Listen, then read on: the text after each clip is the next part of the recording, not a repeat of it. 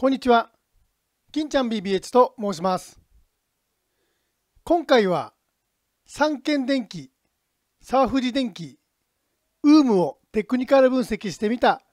といった内容で情報発信をしていきたいと思います。本動画をご視聴される上での注意事項になります。ご確認ください。本動画の構成について簡単にご説明いたします。まず、銘柄分析でファンダメンタルズとテクニカル分析を実施した後、その流れで値動きを予測していきます。銘柄分析の分析内容を基盤に値動きのイメージを組み立てていきますので、値動きの根拠について正しく理解していただくためにも最後までご視聴いただければと思います。えー、それではですね、えー、まず最初に三権電機の銘柄分析から実施していきます。まずはファンダメンタルズから確認をしていきましょう。三権電機は時価総額547億円の貸借銘柄で、特色といたしまして、パワー半導体が主力、通信、民生用電源を展開、自動車と家電向けを拡大であります。また、不動株率につきましては16.6%であります。三権電機のファンダメンタルズの確認については以上になります。それではテクニカル分析に入っていきます。現在ご覧のチャートは2020年4月29日現在の三権電機の週足チャートになります。まずは RSI から確認をしていきましょう。RSI についてはですね、現在41.49%のポイントに位置をしているんですが、過去の、ね、状況を見ていきますと、50%がですね、結構意識されてたんですよね。で今、その50意識されていた50%を突破して、変わらすぎ水準までね、行ってからですね、しばらくそこでとどまっていたんですが、そこからですね、今割ってきて、えー、20%、裏付け水準まで届いてですね、そこからの折り返しということで、今の、ね、状況としてはですね、80%と20%を往復するもみ合いになっていくのか、あるいはですね、50%あたりが意識されて、まあ、レジスタンスとして機能してですね、下降トレになっていく、どちらかの、ね、可能性になっているのかなと分析をしております。まあ、ということで、これからの、ね、焦点としましては、あの50%あたりがですね、えー、レジスタンスとして機能してくるかどうか、ここのね、えー、プライスアクションに注目をする状況なのかなと分析をしております。RSI の分析については以上になります。続いて、信用残の分析に入っていきます。信用残につきましては、赤いラインが信用改ざん、黄色いラインが信用売り残という表になっているんですが、赤いラインのですね、えー、信用改ざんに注目をして過去の水準と比較をしていきますと、現在ね、え数字につきましては、まあ、あの結構ね、えー、信用改ざんにつきましては、整理されている状況なのかなと分析をしております。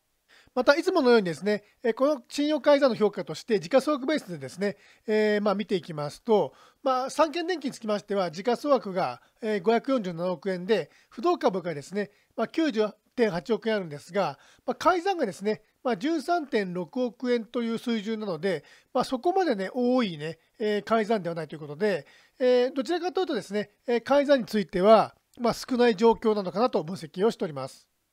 まあ、なのでですね、えー、と値動きとしましては、まあ、軽いというかですね、えー、こちらに赤いね、えー、価格帯別的な厚いゾーンがあるんですが、ここさえね、突破してくれば、比較的ですね、えー、値動きについては軽くなりやすいのかなと分析をしております。信用残の分析については以上になります。続いてメインチャートの分析に入っていきます。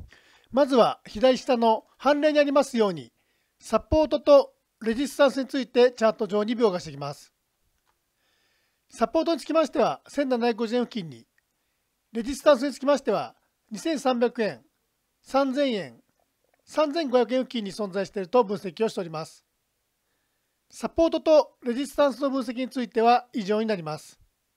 えっと、三権電機のですね、えー、週足チャートを引きで見ていきますと、一応ですね、今現在このポイントで、まあ、あのペナントのような形を作っているんですよね。えー、ということで、このペナントね、えーとまあ、ブレイク差につきましては、どこまで伸びていきそうかね、えー、分析してみると、一応ですね、ペナントの山分ですよね、えー、まあ、最低限ペナントの山分はね、伸びてくるんじゃないのかなというところで、えー、まあ、一番下の、ね、部分が安値が、ね、1732円ということで、2300円にレジスタンスがあるんですが、ここをね、2300円のレジスタンスをブレイクした場合につきましては、1732円からですね、えーまあ、568円幅のエネルギーがあるということで、えー、ここからですね、568円足した2868円あたりまで伸びてくるんではないのかなというね、イメージを持っております。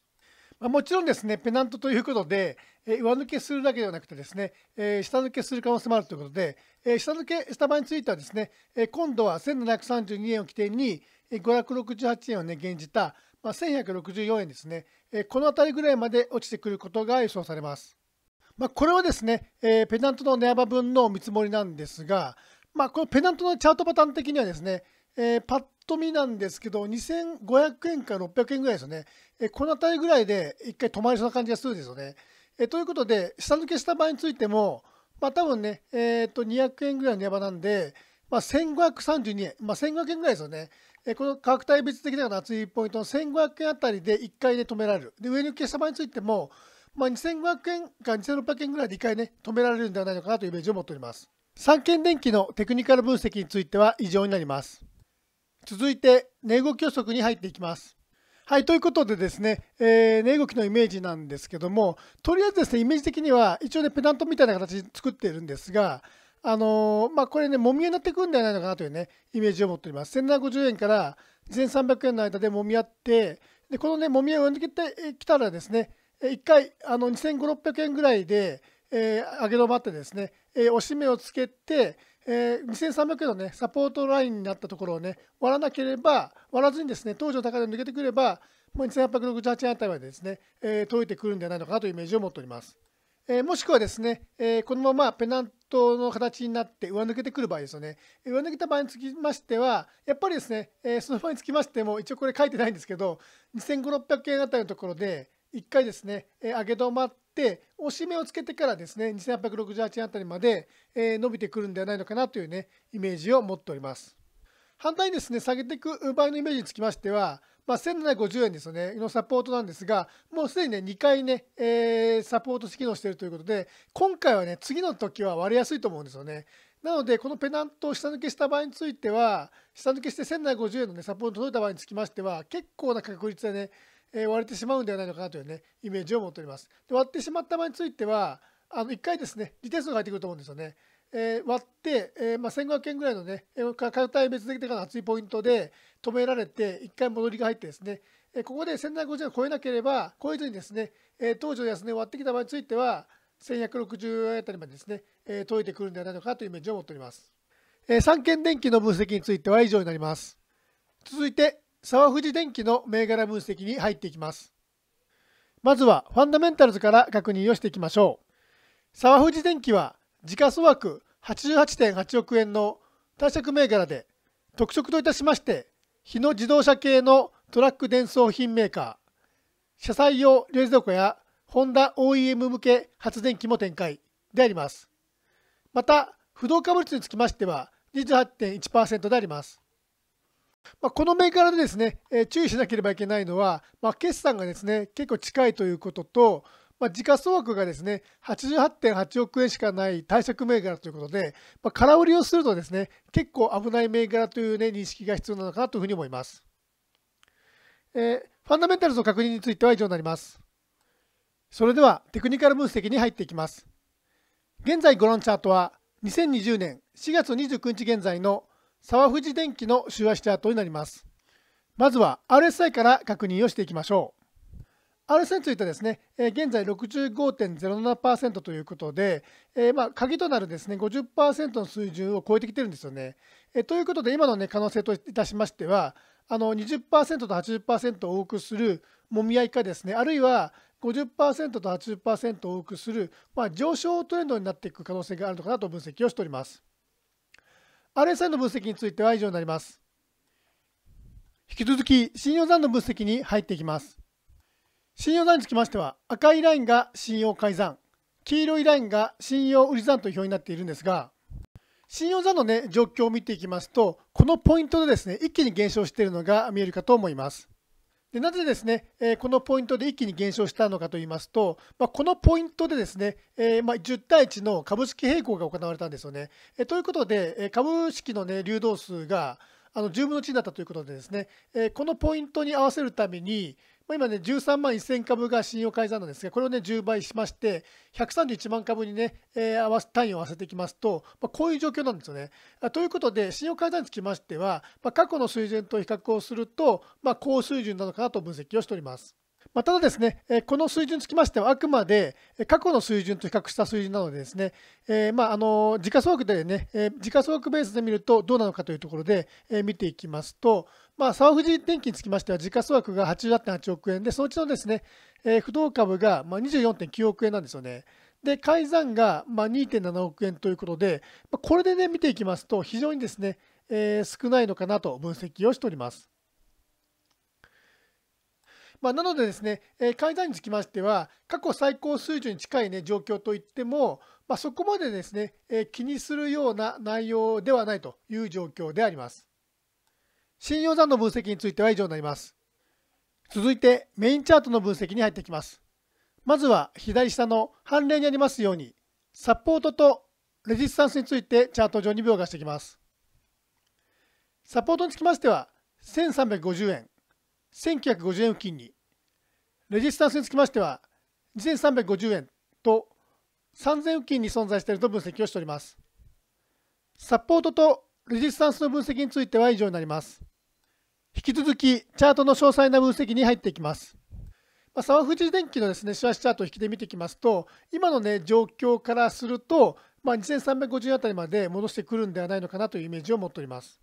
で2350円までの申した後のね、えー、値動きにつきましては、まあ、ダブルボトムがね完成する直前のね、えー、状況なので、このねダブルボトムが完成していいかどうかのね、市場の判定が来ると思うんですよね。えということで、おそらく、まあ、ここのねダブルボトム完成する前に、えー、1950円から2350円の間でですね、えー、揉み合ってくるんではないのかなというイメージを持っております。まあ、ということでですね、えー、揉み合って抜けた場合についてですね、え目標値のねアウトプットを出していきますと、まあ、大体ですね、えー、と目標的には1080円からあ2350円の間なので、まあ、大体ですね、1270円のですね、えー、値幅があるんですよね。えー、ということで、2350円から1270円を足してですね、えー、大体まあ3620円あたりが、あのこのね、もしダブルボトムが完成して、このもみ合いですね、もみ合いブレイクした場合の目標株価になるのかな、テクニカル的な目標株価になってくるのかなとね、え分析をしております。沢藤電機のテクニカル分析については以上になります。続いて、値動き予測に入っていきます。はい、ということでですね、えこの、まあ、沢藤電機についても一気にいくんですが、まあ、大体ですね、イメージ的には、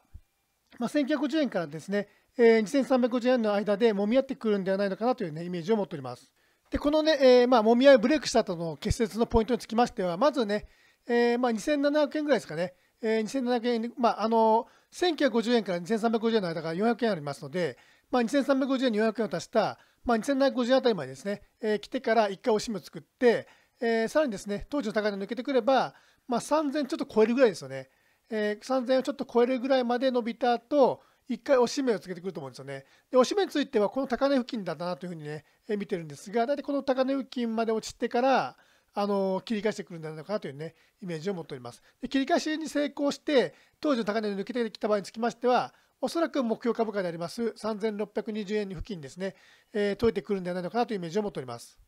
でですね、このレンジから上抜けできなかった場合、下抜けした場合のですね、イメージにつきましては、まあ、目標株価についてはですね、1080円あたりに向かって動いてくるのかなと分析をしております。おそらくですね、1350円から1950円の間でですね、えー、もみ合いになって、えー、その後ですね、え1350円というサポートを割ってきた場合については、まあ、1080円あたりまでですね、えー、解いてくるんではないのかなという、ね、イメージを持っております。沢藤電機の分析については以上になります。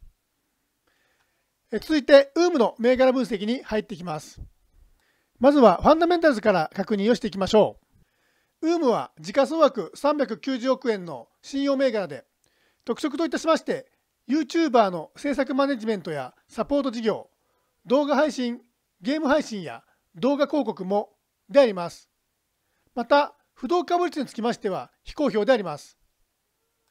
ウームにつきましては、あの吉本興業とのですね、えー、提携話が、まあ、材料としてですね、えー、持ち上がっているという状況なんですよね。で、これについてはですね、いろんな YouTuber の方がですね、えー、分析をしておりますので、私のようにですね、ファンダメンタルズが全く分析できない人のですね、えまあ、内容を聞いてもためにならないと思いますので、えそちらの方で、えご確認いただければなというふうに思います。えそれではテクニカル分析に入っていきます。現在ご覧のチャートは2020年4月29日現在の UM の週足チャートになります。まずは RSI から確認をしていきましょう。RSI についてはですね、現在43.41%のね、ポイントに位置をしているんですが、RSI をですね、引きで見ていきますと、このラインでですね、トレンドラインが引けるんですよね。えということで、まあ、RSI の、ね、特徴といたしまして、え RSI がね、トレンドラインが効いているうちは、あのまあ、実際のチャート上もですね、えー、抜けないことが多いんですよね、え、ということで、このトレンドラインを抜けてくれるかどうかがですね、え、今後の鍵になってくるのかなというイメージを持っております。まあ、一応ですね、え今回は吉本興業との提携話が持ち上がっている材料が出ているということで、えトレンドラインを、ね、抜けてくる可能性が高いのかなという、ね、イメージを持っているんですが、あこの、ね、RSI 上のトレンドライン、これ抜けてくるかどうかがですね、えまあ、焦点になってくるのかなと分析をしております。RSI の分析については以上になります。引き続き信用残の分析に入っていきます。信用残につきましては赤いラインが信用改ざん、黄色いラインが信用売り残という表になっているんですが、赤いラインのですね、信用改ざんに注目をして過去の水準と比較をしていきますと、ま、現在ですね、信用改ざんにつきましては、ま、高水準にあるのかなと分析をしております。えということでですね、いつものように、この信用改ざんがですね、果たして本当にですね、えー、まあ、高水準と言えるレベルなのかなというところで、えー、まあ、あの時価総額ベースでですね、この信用改ざんの残高についてですね、分析をしていきますと、まあ、ウームにつきましては時価総額がですね、390億円ありますありますよと。で、えー、と不動株については非公表なので分からないんですけども、そのうちのですね、改ざんが34.5億円分あるんですけども、ま、これで見るとですね、えー、10%以下なので、まあ、あの標準レベルなのかなというね、えー、分析をしております。まあ、ただですね、まあ、不動株がね、どれだけあるかちょっと分からないところがあるので、まあ、なんともいないというね、えー、状況ではあります。えー、信用残の分析については以上になります。続いてメインチャートの分析に入っていきます。まずは左下の判例にありますように、サポートとレジスタンスについてチャート上に描画していきます。サポートにつきましては、1600円付近にレジスタンスにつきましては、3000円と4200円と5500円付近に存在していると分析をしております。サポートとレジスタンスの分析については以上になります。引き続き、チャートの詳細な分析に入っていきます。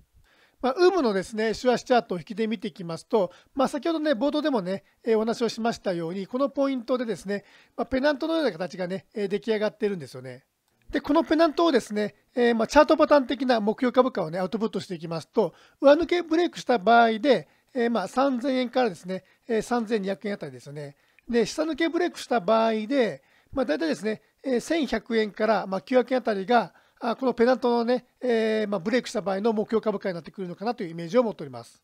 であとね、もう一つですね、えーと、目標株価の分析用語がありまして、このチャートパターンがね、えー、出来上がっているですね、えー、この値幅ですよね、値幅分取っていきますと、大体ですね、えー、1000円近くあるので、この1000円分の、ね、エネルギーが溜まっているということですね、えまあ、ブレイクした場合のエネルギーをね、分析していきますと、まあ、目標株価でいきますと、3400円からですね、3500円あたりですね、まあ、900円か1000円ぐらいの、ね、エネルギーあるということで、まあ、これぐらいの、ね、株価までいくのかなというイメージです。で、下請けブレイクした場合については、まあ、700円からですね、600円あたりまで、えー、まあこの、ね、チャートのエネルギー的には動く力があるのかなと分析をしております。